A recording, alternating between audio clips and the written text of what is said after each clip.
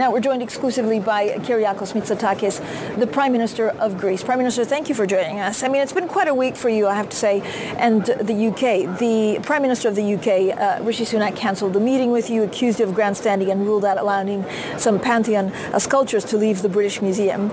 You seem to have a cordial meeting with his opposition. Well, uh, Francine, you know, in, in, the spirit of the um, long-standing good relations our two countries have, and which I certainly intend to preserve, I don't have much to add um, uh, to this uh, topic, nor do I want to get um, um embroiled in, in domestic UK um, uh, politics. I think we've said everything we have to say uh, about this issue, and I really don't want to comment more about it. Have you spoken to the Prime Minister? It, do you feel like it's now behind you? Well, I would certainly want to leave this um, unfortunate incident uh, uh, behind me, but it always takes two to tango. Have you spoken to him? No. Okay, maybe you'll get a call, maybe after this interview. Mm. Prime Minister, there's a lot to be done here at COP28. Are you confident that there's going to be something meaningful instead of just talk? Well, this is an important COP. It's a stock-taking um, uh, COP. I think there is uh, a, very understandable concern uh, about the track uh, we are on uh, and about uh, the gap between our um, nationally defined contributions and where we need to get to. And coming from a country which suffered the devastating consequences of the climate crisis this summer, I cannot just but urge everyone to, to, be more ambitious in their goals. Greece has done its own fair share of of the heavy lifting. We have reduced our emissions by 43% uh, since 2005. That is the fastest reduction of emissions of any European country. Granted, we also had an economic uh, crisis to deal with, but we still remain fully uh, committed towards meeting our mitigation targets, but obviously we can't do it alone. I mean, you also have growth, which helps if you yeah. have money to spend on this. So, yeah. uh, what kind of advice do you give? I mean, there are leaders here, and without maybe giving advice, like, mm. what's the biggest challenge right now to a leader that wants to do good but that can't quite get there? Uh, well, listen, we have to set long-term targets and medium-term targets. I think um, decarbonizing our power sector is the obvious way to, to go in terms of increasing the penetration of uh, renewables. This is something we've done in Greece. We're top 10 producer of renewables um, globally, and we intend to continue down that path. But we also need more investments in our grids in order to actually make uh, renewables um, uh, work. Uh, so this will be the number one priority. And then, of course, you know, obvious energy savings, looking at our, at our houses and how we can uh, achieve quick wins uh, through positive NPV measures. Prime Minister, what do you worry about the most right here in Europe right now? There was a, pretty shocking election in the Netherlands that not many people are expecting with, with the far right to win. Does this change also commitment to, to greening the economy? Um, well, look, uh, we are committed to the Fit for 55 agenda, uh, and uh, important legislative initiatives have been passed. Uh, at the same time, we need to listen to our people and understand that we cannot uh, uh, place more burden on the less privileged ones, and that is why the total, let's say, rebalancing of our fiscal approach, making sure that we use the process of growth to support the more vulnerable households, is, is so important in our case, and to make sure that uh, uh, a lot of people can actually tangibly benefit uh, from the green transition. For example, uh, in Greece we have an extensive penetration of thermal solar.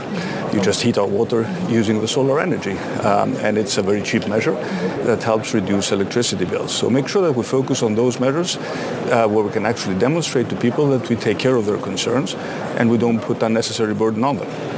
But overall, do you worry that there's a tilt, that there's more domestic uncertainty in a lot of big European uh, countries? I'd say yes and, right? yes and no, but you look at other countries, you look at Poland, uh, you look at Greece, for example, reasonable, yeah. moderate, center-right. You got elected in the summer. Government with a strong majority, a very strong mandate to deliver growth, um, uh, growth rate uh, way higher than the Eurozone uh, average. These are all good signals. You can actually run a moderate center-right government, um, uh, obtain a large majority, uh, as long as you continue to deliver benefits uh, for, you know, for citizens.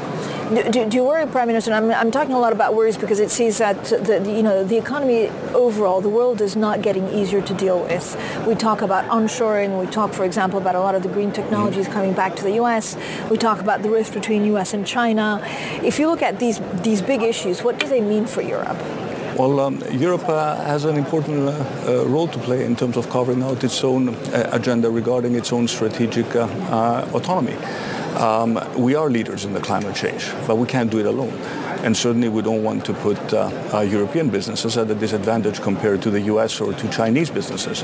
Look at shipping, for example. We want to decarbonize uh, shipping, but shipping is a global industry, and we want to make sure that uh, our shipping is not uh, uh, placed in a position where you just have, you know, um, ship owners move their flags to other countries.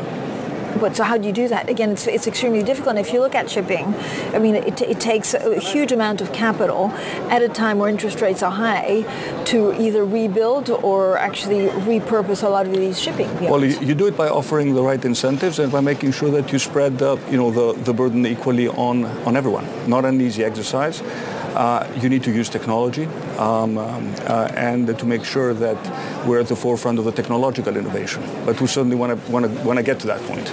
Um, Prime Minister, Greek, uh, Greece is actually aiming to, to, be an exporter of green energy to Central and Southeast Europe as more renewable power comes online. At the same time, you're also looking at hydrocarbon exploration. How do you marry the two? Um, we need baseload power.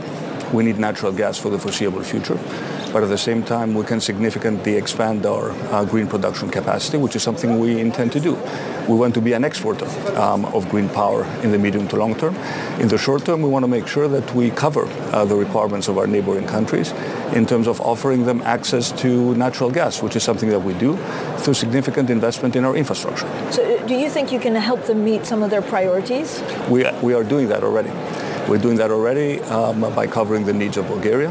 We're exporting gas to. Moldova and we're building the necessary infrastructure to import gas um, uh, into uh, uh, into Europe uh, through northern Greece. So we want to be a provider of energy security uh, for many European countries. How long, Prime Minister, will it take to, for, for that infrastructure actually to be put in place? The FSRU um, is arriving in Alexandroupoli in a, in a month.